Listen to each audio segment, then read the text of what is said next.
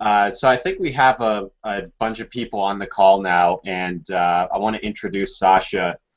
I I stumbled upon her blog about uh, a week ago, and I can't even remember what I was looking for. But I, I actually I, I was interviewing Josh Kaufman, who wrote uh, the first 20 hours, and I was looking for a review. Re, I was looking through reviews of the book, and I came across your rev- your visual book review, and I was just like, wow, this is amazing. This is so cool. Sacha, do you think you can pull that up on your screen? Yep, I can totally pull um, that up on my screen. Yeah, so uh, Sacha put together this uh, visual book summary, and I just thought it was so cool.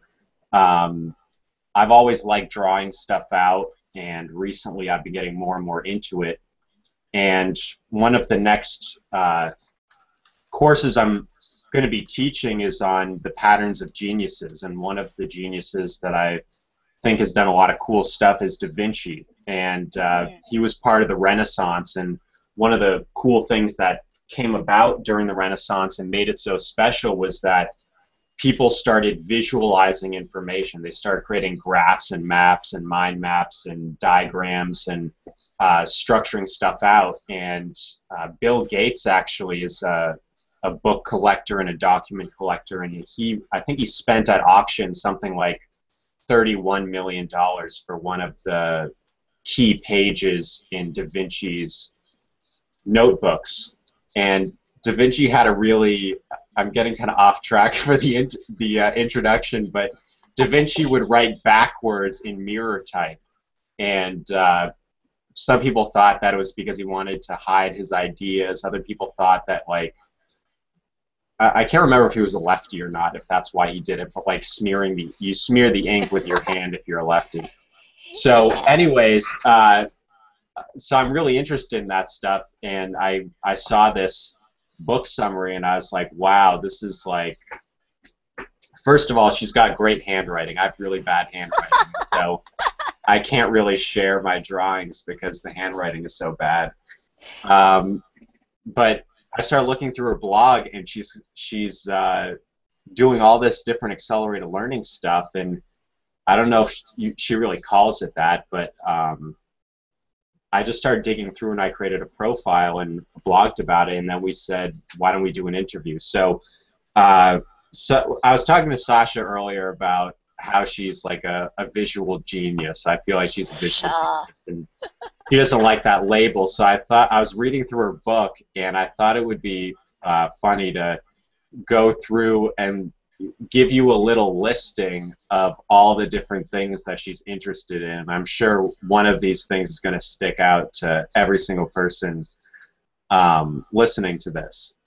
So uh, some of the stuff Sacha's interested in is computer programming, open source projects, wearable computing, um, computer science education, Emacs, personal information management, quantified self, Web 2.0, virtual assistants and outsourcing, Drupal, public speaking, Generation Y, writing, copywriting, sewing, biking, art, piano, theater, chess, photography, event organization, screen printing, calligraphy, typography, system administration, web development, learning Japanese, poi, diabolo, and other street performances, crocheting, singing, gymnastics, yoga, Krav Maga. I was kind of surprised about that one.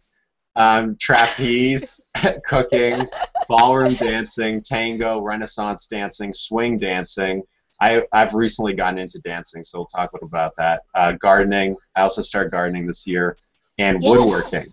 I noticed that you had blueberries planted. Um, yeah. We're starting they, to pick up a couple now, so this is excellent. The funny thing about blueberries is uh, they don't. I, I went to the nursery and I said, how many blueberry plants do I need to make one blueberry pie? And the guy was like, nobody's ever asked me that question.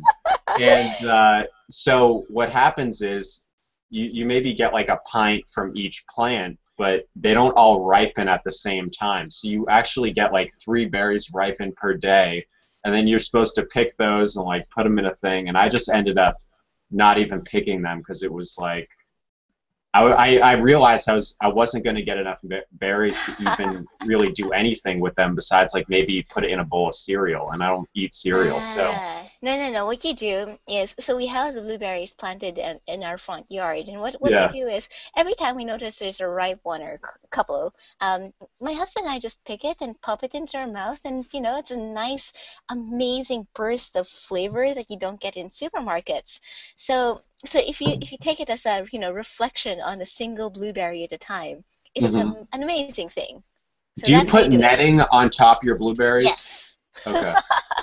Because we learned this last year. Um, we netted it uh, two years ago, and it, and we got blueberries out of it. We didn't net it last year, and the birds got all of them. So now, even if it makes the front yard less pretty, we have nets. Sorry, yes, tangents. Um, I see you found my list of uh, gazillion interests, and this was in uh, what was that? This was in 2009. So I've picked up quite a few since then. yeah. What What would you say are the uh, biggest ones that you picked up? Well, drawing really has emerged as one of those that a lot of people uh, resonate with. Resonate being a funny word because it's audio, right? But um, anyway, so people really like the drawing part. Um, biking has turned out to be lots of fun, so I do that a fair bit as well. I might have, I might have mentioned it. I'm not sure. And and a lot of the, the data visualization as well. Now that I have, you know, I've been collecting a couple of years of data. In in some cases, uh, I actually have stuff to play around with in terms of charts. So this this is a constantly evolving list of interests. Would you say you're more of an audio learner or a visual learner? No, I'm terrible at audio. Uh, I used to fall asleep in university lectures to my great embarrassment. Uh, Yeah. And, and and I also still do very badly at um, the massively online uh, courses. Um, I, I'm I, I'm very much skewed towards reading books. You know, tr- uh, just learning through lots and lots of technical manuals and all of that stuff. In fact, uh, I'm you know I'm I'm I'm much more comfortable reading than listening to a presentation. I always get uh, um, a little impatient, or listening to audiobooks, I get ex- exceedingly impatient unless it's a nonfiction book that's very well read. Sorry, Yeah, sorry, a no, fiction I- book that's I- very well, well, read. I want to um, I want to get into the sketch notes because that's Yes. like, that's your real signature, and uh, I'm curious how you originally got into it. How did you get into doing sketch notes? And tell us the, the you know quick story of kind of your evolution. Ha, fortunately, you gave me a heads up, and that's, that's, that's one of the things that you'd likely be interested in. So, I have a draft blog post where I put together all the things. This will come out on Friday or thereabouts, and that means I don't have to keep running around for stuff. So, uh, the story began in 2007. I actually don't have much of a visual background.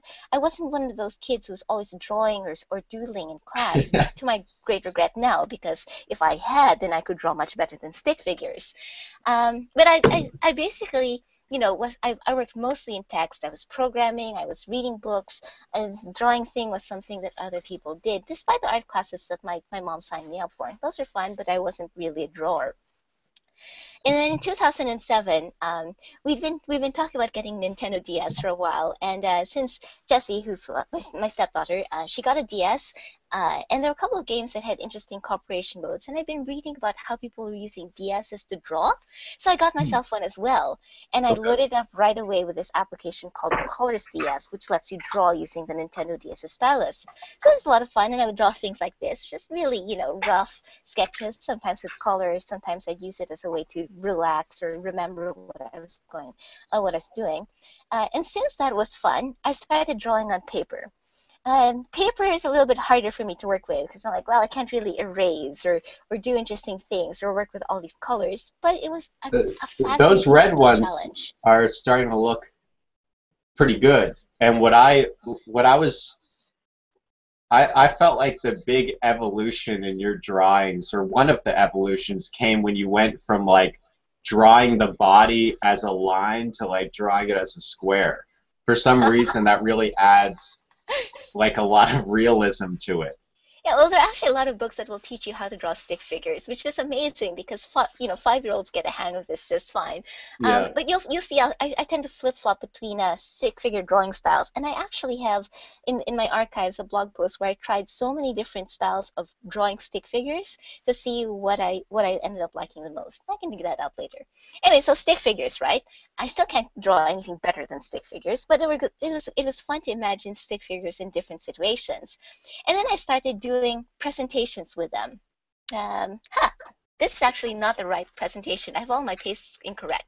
So uh, let me dig up that actual presentation. It's a Gen Y guide to, for Web2 at work in 2000 and something, um, one of my friends said, "Hey, you know, we're talking to all these campus students about social business, and they, uh, they have no idea why Web 2.0 would be very interesting at work."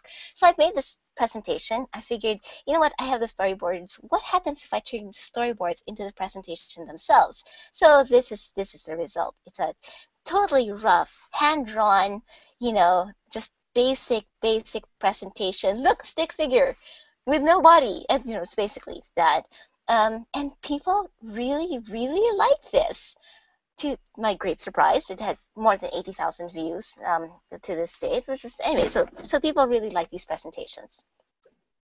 And then I started drawing more presentations, and they wanted to know how I made those, so I made a presentation about making presentations by drawing them. Uh, and again, very, very simple drawings.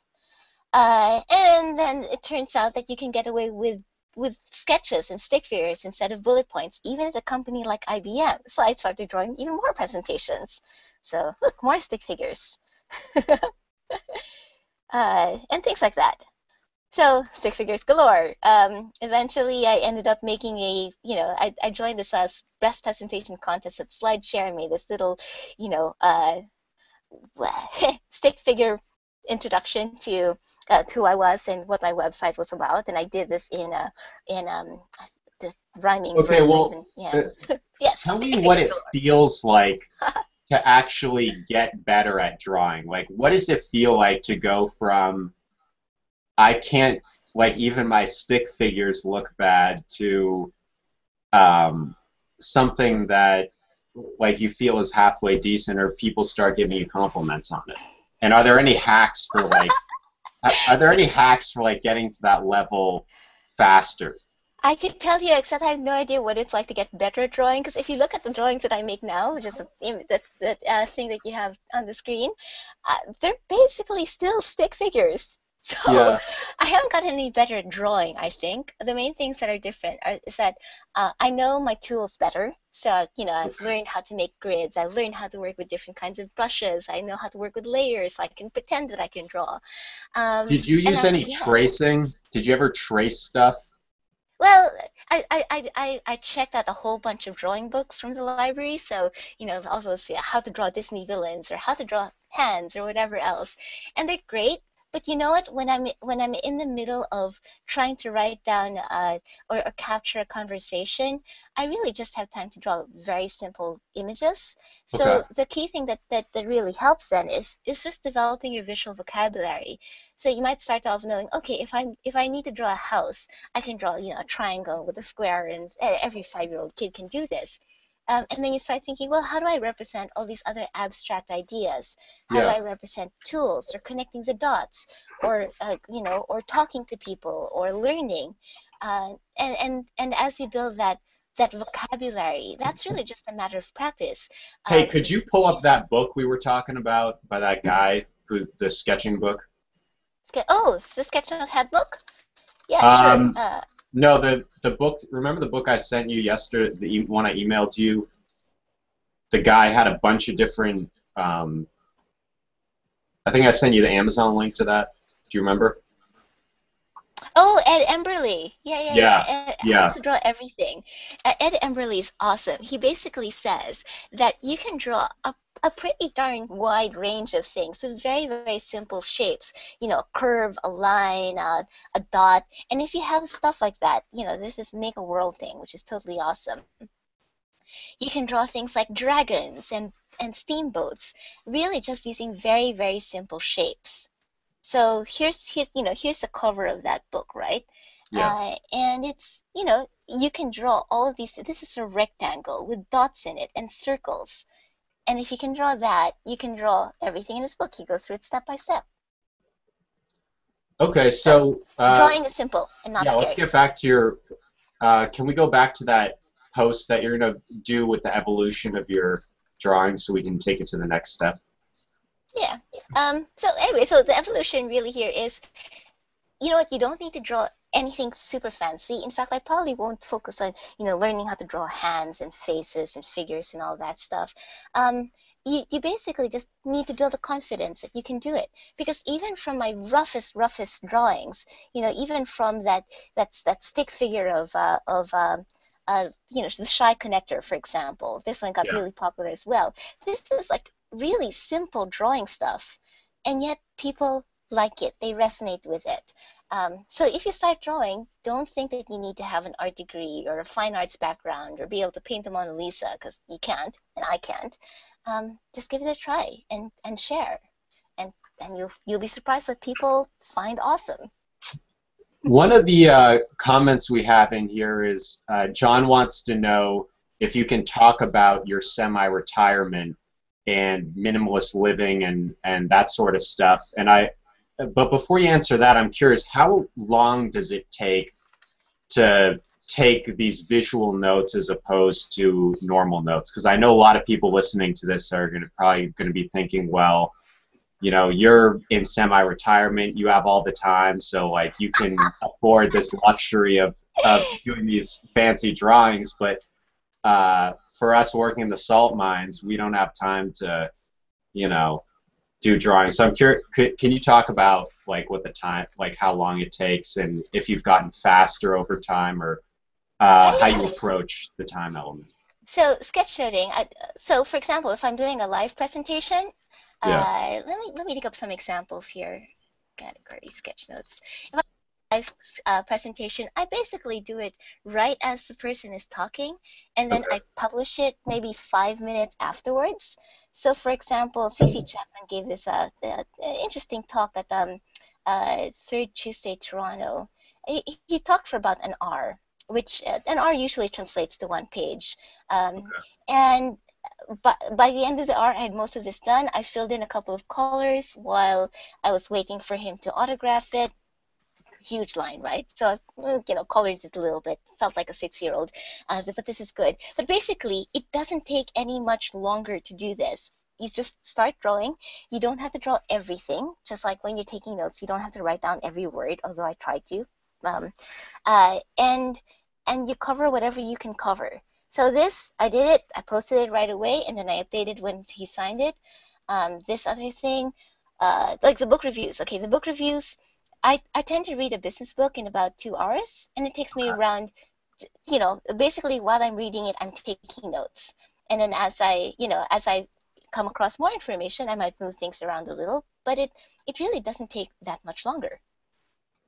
And it's fun. So one of the issues is like if you don't know how much information is going to be crammed into that hour, how do you know how dense your drawings should be or what to include and what not to include. So there's a couple of interesting things here. If you're doing it for a for a presentation or other live event, yeah. then what I find helpful is I draw with a very very light grid in the background, and I work on my computer, so it's easy for me to just hide the, the grid when I'm saving it in and publishing it. Yeah, and can um, you talk about just uh, brief briefly? Can you talk about what computer you use and what application you're using to do the, these drawings? Oh, sure. I use Autodesk Sketchbook Pro, and actually I can show you that. So this is the grid. This is the sorry. This is the the um, set of notes I put together for for our chat today. Yeah. And I have a pen which you can't see. I can draw directly on the thing. Uh, so for example, I can say uh, hi. See? Ta-da! So I'm doing this on a Lenovo X220 tablet PC, of which I don't have a picture at the moment, but um, but I can show you a couple of other things that I've put together on that. So, uh, so it's basically a, a Windows computer that can convert into a tablet if I spin around the screen, and I draw directly in the screen, which is great because I don't have the hand-eye coordination to do this otherwise. So it edits natively as a PS a Photoshop file. Yep, Okay. Mm-hmm, or a TIFF. So uh, as you can see, I have layers. If I want to move things around, or if I want to erase things, I can just go back in there and hit erase. If I find that you know you talk a lot, or what, or I talk a lot, or whatever, uh, yeah. then I might take the lasso tool and um, and just move things around to make more space. Wow. So that's how it works. And so this, and, and then you can import this into Photoshop and make any sort of changes in there also, right? I hardly, I hardly ever need to. I usually just make the changes right here. Let's say, for example, if I want to highlight something, uh, that, for example, like you don't have to be an artist. I can take that and I can just change it right here. Let's make that brush size bigger. Change that right here. Do you keep, uh, one thing I really like doing is printing out um, stuff, and you like to do that too, but printing out uh, visuals like this, how do you do? You just have a three ring binder where you keep all your sketch notes and all the um, all the different stuff that you find on what's that website you were talking about that has all the good sketch notes on it? Uh, Sketchnote Army. Yeah, Sketchnote Army. So do you print so those cool. out? Like, how do you, or do you just put them in, throw them in Evernote and then flip through well, I, I, do have a collection that I've printed out that I mainly take it along just so I can flip through it at random. But Evernote is super awesome, and I have a blog post about this, also a recorded presentation, because Evernote lets me search inside my sketch notes, which is so so cool. So, for example, if I'm looking for science, uh, science, science, science, you know, it, it doesn't get everything perfectly, but when it does, uh, it can find things. So, for example, uh, da, da, da, this one, right? It can find my handwritten text, science, and uh, or whatever, um, and highlight that. So I really like the fact that these digital tools let me organize my sketch notes that way. And then because I publish a lot of my sketch notes as blog posts, that's another way for me to find things. I do print them out because it's it's fun to see. You know, it's it's it's it's um it's interesting to look at. But the digital archive is just so much more searchable. So when you're,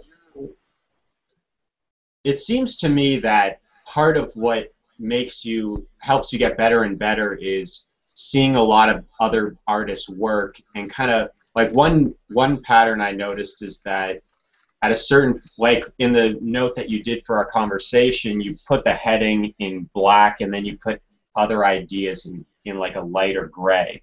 And so that helps with kind of your I, your brain can process what's more important information, what's not as important. Yep. Um, do you have any? Yes. Do you have any favorite uh, sketchnote artists? Ah, so uh, so a great resource if you want to be inspired by other people's styles, as long as you don't get intimidated by them, is sketchnotearmy.com. You'll find, you know, people's first sketch notes or, you know, some really amazing ones as well. And then in addition to browsing through this on a regular uh, basis, I also keep an inspiration file. So this is where I stick, you know, people's awesome sketch notes or uh, other interesting things like etegami from uh, from the Japan uh, the from Japan Foundation or comics that I really like or or other things that are, are very expressive. Um, so certainly whether you're learning about this or you're learning about any other topic, it's great to go out there and look for role models because then you can say, what is it about this thing? What is it about the way they do it um, that appeals to me? And, and how can I play around with that? So So, well, another uh, another thing is, let's say people are used to taking their handwritten notes. What kind of sketches could they make, kind of in the margins of their the notes, handwritten notes that they already do? What kind of sketches could they put together that would be the most impactful? Like what I what I like to do is create like mini mind maps where if there's like a main idea and three subpoints, I'll draw out a little like mind map just to get that idea kind of solidified. So are there things like that that you can do if you don't want to immediately jump into like a full sketch note type thing? Absolutely. Um, so uh, so, so the Sketchnote Handbook by Mike Rohde is an excellent thing to check out. Uh, okay. It talks about well, you know, you start off with with maybe you know you play around a little bit of typography or lettering. Uh, you make some things bolder. You make some you know, or you draw boxes around stuff. So you have containers here, right? Or you add arrows and dividers, and that already helps you start structuring it then you know you can play around with with adding a couple of icons you know or or different kinds of bullets. So instead of using a you know just a dot for a bullet maybe you'll use a check mark just to show that it's something that you need to do. These are all different ways that you can start off with basic handwritten notes and then start making it a little bit more visual a little bit more engaging.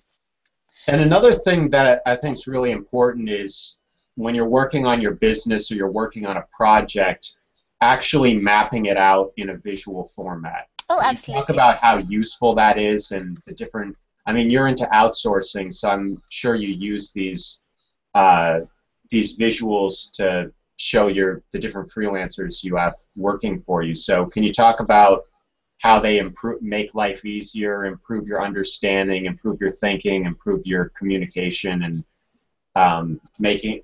Because one of the things about outsourcing is just helping the other person understand what you want them to do, and that can be a big friction point. Mm-hmm. Well, I really like the lean canvas idea of having everything put together in one page, right? So, okay. uh, brainstorm the whole bunch of different uh, lean canvases for the different kinds of business ideas that I might want to explore. Here's one for digital conference or events event sketch notes, where you have you know the problem, the solution, your unique value proposition, all those good things that you want to keep in mind um, right there. And as you can see, it's a it's a very simple combination of mostly text, but a couple of, of icons or or emoticons or or rather um, uh, images just to make it more fun for me. So I, I, I have things like this and I share them. I share my process as well. I really like writing down step-by-step instructions for how I do things. It helps me remember things and it helps other people learn how I do things as well. Um, and that's that's worked out really well so far. I've I've been experimenting with delegation for a while and I, I really really like the way that it helps me get rid of things that I used to worry about or stress out about like scheduling. Um, and it also helps me you know work with people's amazing talents and skills. So mm-hmm. big fan of it. Definitely give it a try. What if somebody wants to uh, for example have somebody help them with scheduling um, how could they easily get into that and how much would it cost them Oh, hey, uh, I actually have a blog post about this. Hang on a second. Let me bring up my. Uh, um, uh, so I have a virtual assistant. Um, I have several actually, but the, the person who handles the, the scheduling, like for example, when we set up this call today, uh, she is based in the Philippines, works for something like five bucks an hour, um, and it usually takes her. Yeah, she works on an as-needed basis. So whenever I send her mail, uh, stuff happens, which is great. Um, and the way that it works is I basically I gave her access to my calendar. Uh, I set her up with email, and it costs me maybe two bucks a week to get my things scheduled wow. and i don't have to worry about the back and forth and and i don't have to worry about accidentally double booking myself or messing around with time zones or uh, or things like um, like making sure that people have backup phone numbers which is awesome uh, because sometimes if i'm running late or something comes up i have to be able to call people so, um, so it's actually not that scary and not that expensive. Um, and I, I've, st- I've included my so um, actually, let's pick the online meeting ones as, a, as an example. I've included my process for scheduling. Yeah. Plus, I think one of my blog posts has um, even has the job posts that I've used to to hire people. So it's it's again, it's a very very easy thing to get into and try out. Now, one of the really interesting things about you is how prolific you are in blogging every single day and sharing so much of uh, what you're learning. And I think it's such a valuable exercise because I think if you don't express an idea that you learn and you just kind of consume it, it isn't it doesn't stick long term and it doesn't get used. And you have a I'm curious if you could talk about what motivates you to do that and and also the benefits that come out of it because you've you've got some really great commenters on your blog and I can tell that uh, you're just learning a lot and connecting a lot with other people through that process. And I hope that can inspire some of the people listening to start blogging and also um, understand that just by reading other people's blogs, commenting, and having your own blog and sharing on it, you can learn a lot from other people by connecting with other people and also the process of getting those ideas down on paper or into a blog post. Mm-hmm. So blogging turned out to be an amazing thing. I started blogging in 2001. Basically, be- I was I was taking notes on my computer, uh, and I was working with this software program, um, Planner Mode for Emacs, and I wanted to build blogging capabilities into it. So I, I was using to take notes from class, uh, from the things that I was learning, and I realized that this was a great way to remember things because other if I if I if I wasn't trying to explain it to myself or to other people, it would just disappear. I have a hard time remembering what I did last week, much less what I learned a month ago. Uh, so having that kind of record really helped. Yeah, I started uh, really posting a lot. Uh, I, I, wrote about the things that I was trying to teach when I was teaching computer science. I wrote about, um, you know, getting ready for an internship in Japan. I, I wrote about my master's degree. Um, a true story, I had, a, I had such a hard time writing my thesis, so what I did was I drafted put parts of it on my blog, and then I translated it from you know friendly blog writing English to uh, ac- academic ease. So so that really helped. Um, and it's you know it's it's just been a fantastic way for me to remember and to share and to uh, and also even even at the beginning to think things through and to understand. Can you tell us a story about like somebody that you met through blogging? Oh, it's really hard. There's a lot of stories. It's I at this point I have people who have been commenting on my blog for for um, for years and years and years, and it's mm-hmm. fantastic because I would be much too shy to email people in the first place. You know, people yeah. always say, you know, the money's in the mailing list, but I'm like, oh, I don't. Do I really want to take up one line in people's inboxes? The blog is great because people can voluntarily read it. Um, they read it when they want to. They they choose whether or not to follow, um, and how frequently they want to hear from me, and and so when I when I write about stuff you know, and people respond. Maybe maybe they give me advice in starting a business, or they or they cheer me on as I'm learning how to draw, or, or trying out all these different things. Uh, it's you, you get to learn from from so many more people out there, and you get to do that without feeling like you're imposing on them or you're you know or or you're in their face or whatever else. Mm-hmm. So if if you're shy about blogging and all that, I find it really helps to remember that you don't have to be an expert. That uh, yes, other people know more than you, and this is a good thing. Uh, and it's okay to make mistakes, and it's okay to you know write about the things that you're learning, knowing that you could be wrong, because because you learn so much in the process. Now, one of the things that you talked about one of your blog posts, but I wanted to learn more is you use your blog to actually do spaced repetitions on the different things that you've learned on a weekly, monthly, and yearly basis. So could you talk about how you? I mean, first of all, do you do that using the the printouts that you do of your blog, or do you do it looking at the computer screen?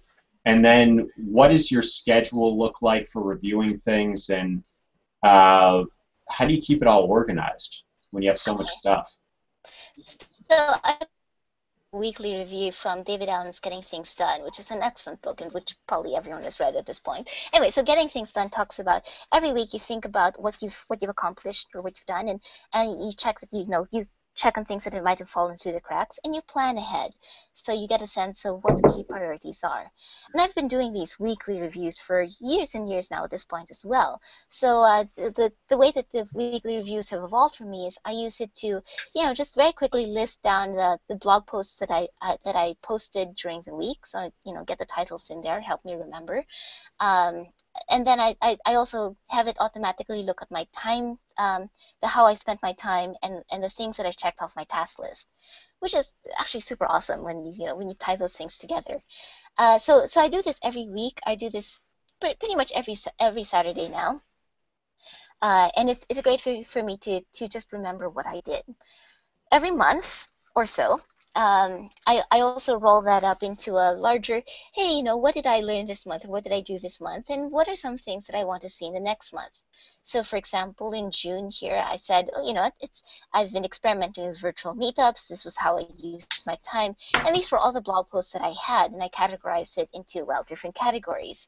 So then I can see where I've been spending more time writing, um, and and also think about, oh, what do I want to, to learn about next? And I roll this up into you know yearly reviews. If you if you work at a company that does annual performance reviews, having notes like this is excellent because then you can say, oh, I did all of this wonderful, cool stuff. Um, and even for yourself personally, it's nice to know where that time went, what you did with your life. So this is all goodness. Uh, and then in addition to, to doing this, since I already categorized a blog post like this, uh, I've also been working on keeping a, a, categorical index of my blog, just because there's so many posts now. Uh, this one just covers posts since 2007, and as you can see, there are a lot of different categories that just have, uh, you know, all these different posts underneath them. Yeah. So uh, okay, so you you've got that, but how do you actually do the spaced repetitions. I actually don't worry about it too much. Basically, if if um if something is useful for me to remember, probably I'll end up searching my blog for it again at some point. In which case, I go and try to make it more findable if it was if it took a long of time to find it. Uh, okay. I rely on people commenting on really old posts to help me remember what I've completely forgotten writing about. This is great because oh, there was there was one post there that had like, uh, some like year like maybe more than eight years between the time it was posted and the time somebody commented on it uh, but it's it's amazing what people come across in search engines, right? And then in in um, in WordPress, uh, I also have things like you know related posts. Oh, sometimes this this nudges me to check things out, or things like on this day, and then I can I can go back and I can look at well, oh yeah, this these are the kinds of things that I was working on, and I got inspiration from this from you know those ten year gardening journals or you know, ten year journals where you're just making one entry, uh, but all the entries for that day. Uh, throughout the 10 years are on the same page. So wow. you get that sense of, oh yeah, actually, we've we've come a long way. so one of the questions we got earlier and we didn't finish uh, talking about is your semi-retirement, and you worked ah, at. IBM, and then you went off, and uh, I I don't fully understand what happened, but I'm really curious to hear your story about that. Okay, so and there's there's quite a story about it. Um, I've been so, so basically I've been saving up in an opportunity fund ever since I started working because I you know it's, it's always nice to be able to say oh this there's an interesting idea here or or I want to try this gadget out or I wanted to play around with this so so opportunity funds great idea if um, set aside some money so you can guiltlessly learn about stuff.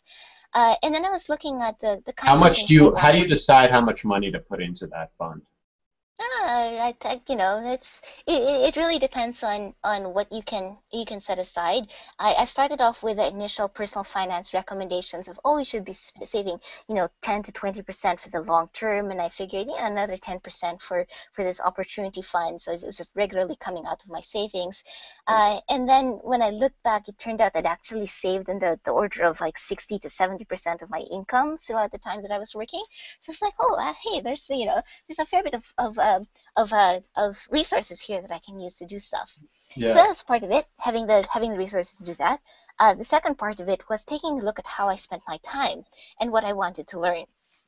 I made a list of the different things that I wanted to, to dig into, and I realized that if I saved it for uh, just for um, what you call for for evenings and weekends, I could learn some things. But you know what? I you know there's it'll take longer to get to, to everything that I wanted. Uh, and I realized also that because both my husband and I are very frugal, and you know we've I, have got this opportunity fund set aside, and I could you know keep tinkering around with with with my wants and desires. It turned out, for example, that I don't actually need to go to the movie theater that often, and I I, I don't buy a lot of things. So I decided. Um, you know to be really cool for for learning things that maybe other people don't have the chance to is what if i if i take you know the sagmeister idea of having a sabbatical he takes a sabbatical every seven years one year off seven years on or six or seven years of working and another year off uh, and he finds it to be very creatively recharging Um, but what if I take that and I take the idea of, you know, um, I think Tim Ferriss or somebody else said, you know, moving some of your retirement earlier. And I said, okay, if I if I block off enough time, um, say five years. Five years apparently is is uh, how long most businesses uh, um, need to get established, or a, a, large majority of businesses fail within the first five years. So if you can make it past that point, you're you're doing pretty well. Uh, if I can save up enough money to not worry about my income or expenses for for five years, imagine what kinds of questions I can explore. Imagine what kinds of things I can learn, uh, because because the risk is not there, right? You can deal with the risk early. Uh, and so I saved up and when I reached the, you know, when I reached a nice point, and I was reasonably confident that I wasn't going to to waste all that time just goofing around, uh, I struck off on my own, um, wrapped up my projects nicely because it's always nice to turn over things well at, at, um, and not burn any bridges. But then I was like, all right, let's let's go on with my experiment.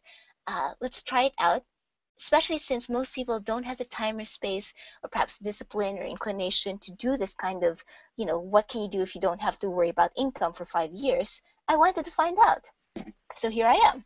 So, okay, so let me get this. So you, uh, first of all, it seems like you have, you have to have a lot of confidence to say, oh, well, I'm just going to take all this time off and then I, I'm going to be able to get a job when I, uh, when I need money again. So was was your plan that you were going to figure out a way to start a business so that you would be able to eventually stay in retirement or I mean what was your thinking there cuz that's the, I don't get the whole transition um, I, that's really scary for people. They're thinking, "Oh well, yeah, totally." Just quit my job and you know. It was very scary for me too. Um, I, so basically, the, the, the structure of the five-year experiment is, I am going to be completely unhireable for five years, um, and and and so at the, or if something happens, I can always change my mind. But most, you know, if if things go well, I'll be completely unhireable for five years, and then after five years, I'm going to evaluate whether I want to return to a corporate job,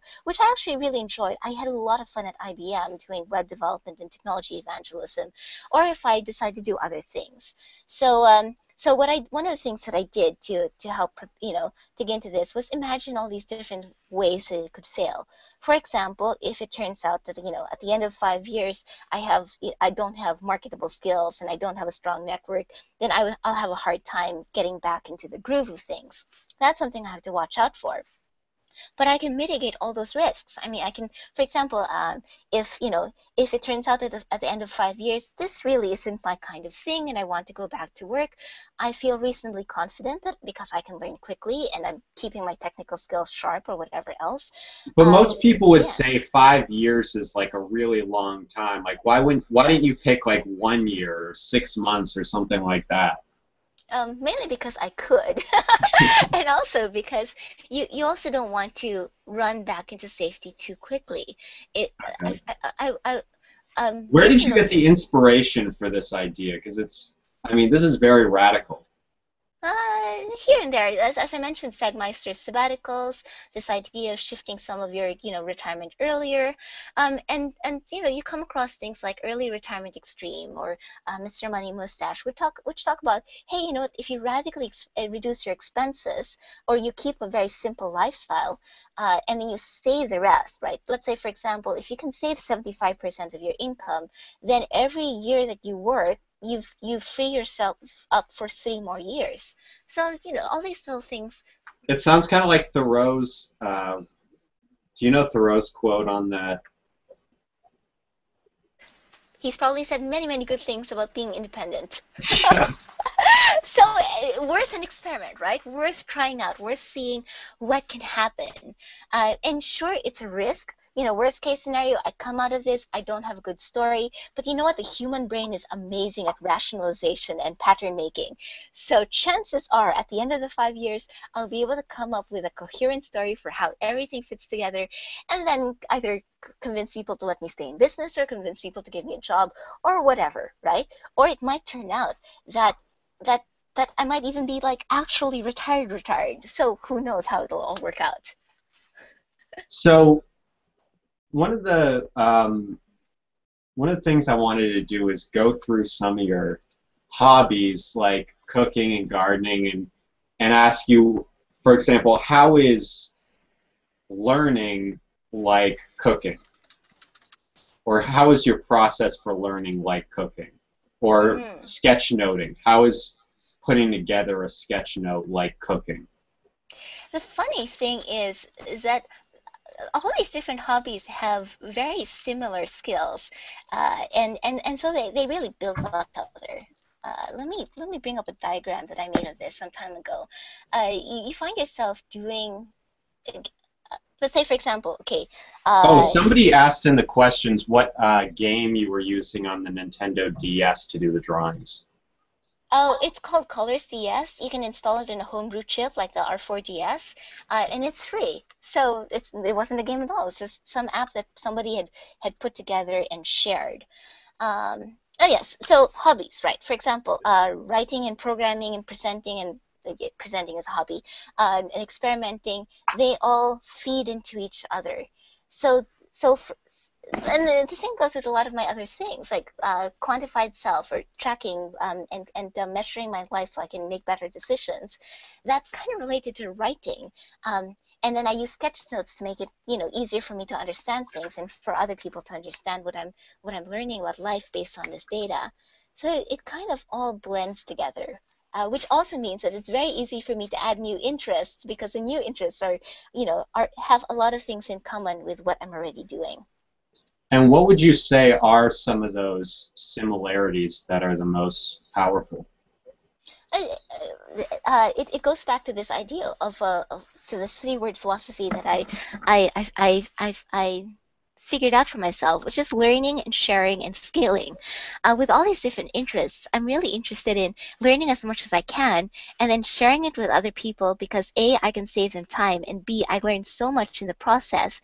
And then the scale comes from either learning how to do things more efficiently, like with cooking and bulk cooking and, and you know, filling up our freezer with all these different things that we can we can just pull out whenever we need to go to work and have lunch. Uh, so there's that, right? So there's scaling up in terms of economy economies of scale. And there's also scaling up in terms of how can I share things so that other people can learn from this without my, my necessarily having to teach them one on one. Uh, so there's, you know, I, I find this this learn, share, scale thing, or or even things like the uh, the lean startup idea of a build, measure, you know, you know, the, the learn sort of thing. Um, yeah. Uh, that reoccurs in all of these different interests. And the better that i get at that and the better I, I get that i get at, at core skills like making decisions or or understanding things or learning um, the better everything gets. So like when you say getting better at understanding things how do you what does that mean? Is that like well drawing stuff out helps me understand it better or is it something deeper than that Oh, uh, funny you should ask, because I actually have a skill breakdown here. I was, I was thinking about what, what learning means, um, and let me break it out of my uh, skill, skill, skill, skill, skill. Learning. Okay. And this is Emacs that's showing up on the, the screen. Yes. Black code. Uh, yes. the general skills that I've been working on in terms of learning are even identifying what it is that you want to learn in the first place, and then breaking it down so that you can you can learn about it in manageable chunks, prioritizing it so you pick something that you know engages you or gives you a lot of value right away, or uh, other people really like as well. Getting ready to learn, uh, actually doing the learning, remembering what you learned, because this is completely different from learning. You can learn things and you forget them. That doesn't really help. Um, mm-hmm. Applying that in both similar and very different contexts and then sharing it. So all these different things that are packed up into learning that are so much fun to explore. What do you what are some of your hacks for uh, figuring out what are the best resources to learn from? Because I think that if you just have the best resources to learn from, that can replace so much stuff like speed reading or trying to get stuff from a lot of different sources, if you can find a few things that are just gold mines of information, that can it, it can speed things up so much. Possibly. Um, I, I, I do have the unfair advantage of actually being able to speed read. So sometimes what I'll do is I'll just check out 15 different books from the library in the same topic and then read through practically all of them to see which ones I like the most. I can do that because I can I can I can burn through the books very quickly. Yeah. Um, but it all comes down to what you you know uh, understanding how well how you learn and how you can learn well. Uh, so, for example, if I if I want to learn more about a topic, I might I might dig through the books. Uh, I'll look at the you know what the what the library has in its collections. I might look at the Amazon uh, ratings for different books to see what people really liked. I might uh, you know click around to see what blog posts and and, and what resources people referred to uh, are out there. Um, and and also what's what's really interesting there also is figuring out how you can learn from experience. So how can you set up small experiments to learn from so that you're not just learning from other people's experiences and insights you're also testing to see whether they make sense to you. Okay so can you, can you give us a, an example of that like this huge, huge, huge experiment of uh, taking five years off work, work uh, to uh, to play around with with uh, with, with how, you, how how wonderful it can be, right? Um, you you read about it in other people's stories. Is you know, oh, what uh, what what would they do if they had this financial freedom or independence or whatever? Or or you look at how people are learning from startups, but there's also actually going and doing things, uh, and then things like things like drawing, for example. I could read all the books that I want on how to draw faces or, or figures, but I'm, I'm starting to find things that I want to learn that I can't find books about, which is tremendously frustrating because I'd rather, you know, do the shortcut and learn from other what? people's mistakes. like, like how do you express all these abstract concepts that I come across in terms of technology or business or, or whatever? Uh, we don't really have a visual thesaurus that's geared towards this. I think someone's actually working on that in Germany, but anyway, I don't have a visual thesaurus, so I have to build my own. Uh, and and so what I do is I look at a combination of of breaking down how other people are drawing things, as well as coming up with my own images and, and examples for this, and I stick all of that into Evernote just so it's easy to search. So but what, you know, there's, there's so what much. does that mean, a visual thesaurus? Uh, okay, so for example, if I want to learn, if I want to draw, uh, what's a the danger, uh, you know, what are some different ways that you can draw danger? You can draw dangerous an alarm. You can draw dangerous, you know, this stress sort of thing. You can draw it as radiation. Uh, I've got this. Uh, da, da, da, uh, I, I, and then this is one of my experiments where I sat, I sat down and I thought about this, these different ways that you can express danger. Uh, and it's you know so again it's a combination of learning from what's already out there and then playing around with the concept to see what you can learn on your own too it you know reminds me of these uh, icon sets that you can get for your website. Mm-hmm. So you must study those a lot. Every so often. So iStock Photo and other stock photography websites are actually pretty interesting sources for you know just how how would people express this or or what you know what are some some visual metaphors or uh, or and, and and what do all these different emotions look like? Um, but but you also find that a lot of people you know the, the they stick to the same basic ways of explaining things, which is actually a good thing because if it's something that's common, then other people will understand it quickly. I mean, some of these things maybe people don't really understand why it's dangerous. Like this, this one over here doesn't really look like someone getting electrocuted. but yes, uh, there's so much inspiration out there. And one of the other things that I think is so powerful with visuals is that in communicating, you've your communication is going to be most clear and most powerful if you can communicate an image that or something that evokes an image in the other person's head. And i think mm-hmm. the the metaphors the visual metaphors also make you a more creative person. And when you translate that into business that means that you're going to be more innovative you're going to be able to stay ahead of your competition. And i'm wondering if you've noticed if there's certain things as you got better with drawing or with um, some of your other creative pursuits, uh, dancing is another example. How did that, if at all, did it affect your feeling of how creative you are or how you things that you've done to become more creative?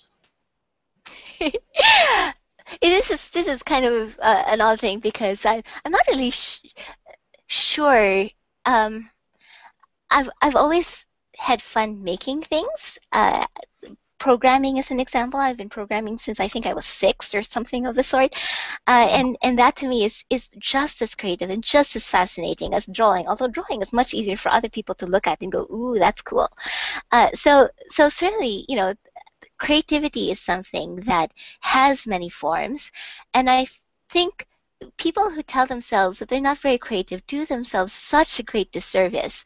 I've stopped worrying about whether I'm creative or not, or whether these things help me increase my creativity or whatever. I just have fun with it, and I just keep asking, oh, what would make this better? What would make this more wonderful? Drawing helps, sure, because then I can ex- I, I, can express things to people who might not have the patience to read a blog post, and uh, and uh, the book reviews and all that stuff help me connect with other people. Um, but there's you know there's there's so much in terms of of things that you do that that you can look at and you can say this is creative. That you shouldn't limit it to just saying oh drawing is creative. I don't draw therefore i'm not creative.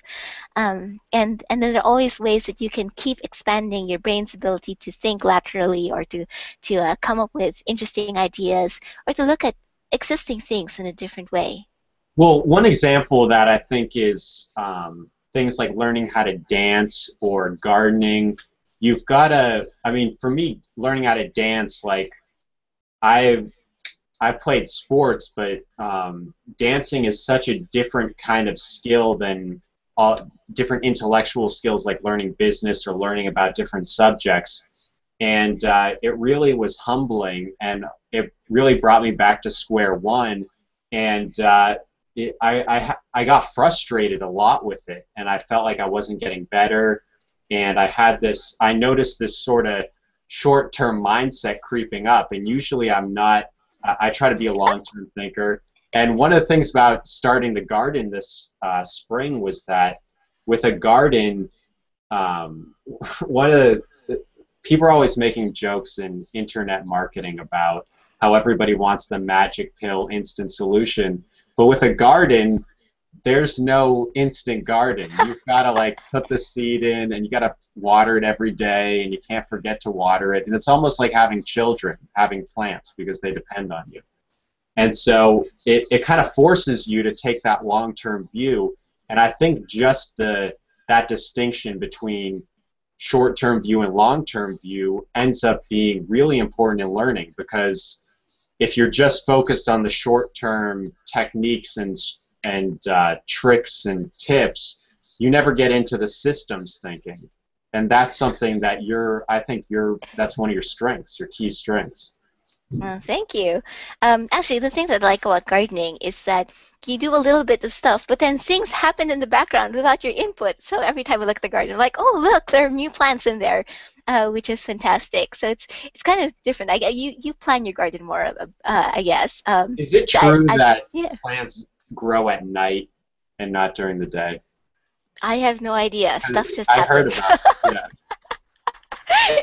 so and then in terms of you know in terms of well dancing I, what i liked about dancing was the same thing that i liked about presenting and interviewing and all of that it's that it's that give and take and something fascinating happens mm-hmm. right when it, when you're giving a presentation and you're dancing you're listening with your entire body to the other person and and stuff happen or to the audience and and stuff comes out of it that you couldn't do in your own so there are all these different things that you know the these different experiences that these interests open you to. And um, and for me, I guess you know because the human brain is really good at drawing connections between stuff, you know, being able to take a step back and say, oh yeah, my interest in this led to my interest in that, and this is the system, and this is how it all fits together. That's actually something your brain is really good at, rationalization. So systems you know take a step back and and and, and take that long-term perspective and i find that even if i'm just exploring you know if i'm following the butterflies of my interest just going where my energy leads me from moment to moment um, over the years it actually works out really well so i'm surprised that the things that I, I played around with, you know, the Nintendo DS that I played around with in, in 2007 or something like that, turns out to have this kind of ongoing influence in my life. Uh, it's what, yeah, that's one of the things. Yeah. That's one of the things I noticed about your. Uh, I watched your quantified self presentation, and uh, one of the other things that um, in studying geniuses is that they tend to. Albert Einstein was famous for taking his afternoon naps. And I, I remember in your quantified self thing, you were like bragging about how much sleep you get. And I'm the same way. I need like I need nine or ten hours to really be at my best. And and people are always saying, "Oh, you sleep too much and stuff." But I think that in terms of learning, if you're sleep deprived, I was sleep deprived probably every single day when I was in school, and it, it really uh, hurt me. And it wasn't. It, it really takes a toll on how much you enjoy your life. I think. And uh, one of the other things you just mentioned was how you follow the butterflies of your interest. And I think a lot of people, uh, first of all, I love that metaphor, but second of all, um, when you're following your your curiosity in the moment, I think that puts you in a flow state where you're really maximizing your the potential of your brain. And a lot of people try to force themselves to learn things and they put deadlines on themselves and stuff like this and I think it ends up stressing them out, and they don't enjoy learning, and so then they don't they don't enjoy doing things like spaced repetition because they view it as something they have to do as opposed to something they want to do. I think enjoyment is such a big part of it. You know, whether it's sleep or having time for discretionary activities or spending time with people or whatever else. I, I, I, I suspect that one of the reasons why I enjoy learning so much is because I enjoy life in general. And so I'm not pushing myself to, you know, complete this by so and so date or or do this or else, you know, or or or else I get fired or else I do this or whatever. Um, so so certainly having that kind of freedom and and curiosity will will make a big difference. And then you know, and then the other thing that people are worried about is is whether that you know leads to a lack of commitment or whether they're going to be dispersed or distracted, a dilettante of um, it, with with with too many interests and not being able to get really deeply into into one. But the funny thing is that is that things tend to come together. So, uh, for example, an interest, you know, my interest in drawing turns up in my consulting, and I start doing a little bit of that at work too, or or whatever else. It's everything turns out to be useful is if you look for those connections. Yeah, so. and uh, that's another one of the patterns um, in studying geniuses is that they tend to see the similarities or the resemblances between different things, and that's why metaphors are so important because they're um, they're kind of representations of the similarity between two different things.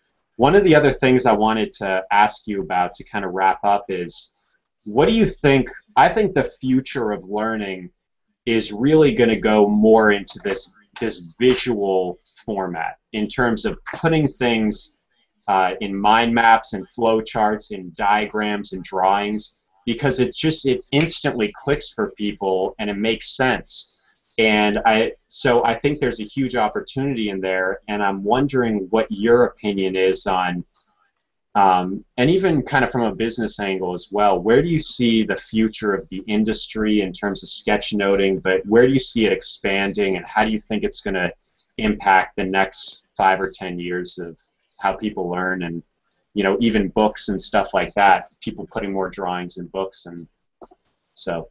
Oh, I'm so excited about that. So it turns out that graphic graphic recording and graphic facilitation, this drawing of, of what people talk about in meetings and presentations, has been a thing for decades. It's just been a well kept secret. Uh, and as we get better and better at doing it and sharing it and inspiring other people, and as the tools also themselves progress, a lot of people are drawing on tablets where where because they can erase things, they feel more confident. I know because I can erase things, I, I feel more confident about drawing when I wouldn't try on paper. Um, so the tools are getting there. That the ability to, just share things online or even search for information within these images and share things that you find fascinating. Um, that's that's contributing to it. Uh, uh, publishers are, are getting more used to this idea of, of adding you know, cute little things in the in in the books so it's not just you know so for example head first has this entire series of technical books that have have uh, drawings and doodles and diagrams in them uh, and you have books coming out as, as comic books or whatever. Back in back in uh, high school and university my mom used to get us these uh, you know cartoon guide to physics and cartoon guide to history and all of that. But we're seeing that go into more and more um, books outside, you know, I, so books and books and technology. So this is great. Excellent trend. I'm definitely looking forward to what people do with it. But the most important thing for me is that people know that they can do this themselves. That it's not just for somebody else to, you know, to draw things. Oh, that's fantastic, or the books to, you know, to be more interesting because they have pictures in it. But they can use this as a technique to help themselves learn and help and to help people make sense of life. So, give it a try, um, and things will just get even better. The last, the last thing I want to mention is we didn't talk too much about connecting, but you have a great presentation called "How to Connect as an Introvert," and uh, oh yeah, the shy connector. uh, one of the things I was uh, a few years ago, I stumbled upon this uh, handwriting analysis thing, and you said that you were uh, um, you were an introvert, and and sometimes introverts feel like they have to pretend to be an extrovert in order to you know connect with people and so I, I kind of forgot what the uh, actual patterns of handwriting um, analysis are. So I looked it up last night because I um, you have your uh, signature.